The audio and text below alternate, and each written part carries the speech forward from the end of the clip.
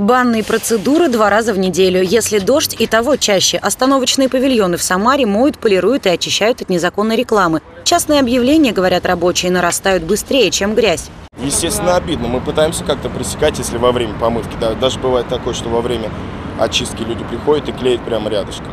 Коммерческая информация должна размещаться на рекламных конструкциях на платной основе. Для частных лиц есть 470 специальных информационных стендов, где можно бесплатно разместить свои предложения. Остановка совсем не место для расклейки. Ждать транспорт не самое приятное занятие, особенно если остановка, на которой стоишь, вся грязная и заклеенная объявлениями. Гораздо лучше, когда в зеркально чистой поверхности можно увидеть свое отражение, говорят жители. Потому что чисто, приятно, красиво, прозрачно. Приятно ждать автотранспорт.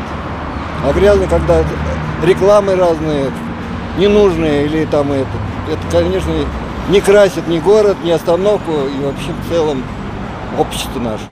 На сегодняшний день в Самаре почти 900 остановок. За частью уже регулярно ухаживают подрядчики. Еще больше 300 павильонов, за которые отвечает муниципальное учреждение «Самара Информресурс», преобразятся в ближайшее время. В ближайшее время а, будет производиться ремонт очистка и окраска данных остановок.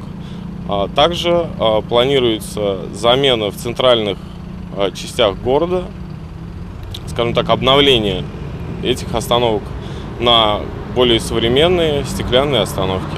Вода, специальный химраствор, скрипки и рабочие руки. 20 остановок в день – это не предел. Особое внимание исторической части города и туристическим маршрутам. Мариана Мирная, Григорий Плешаков. События.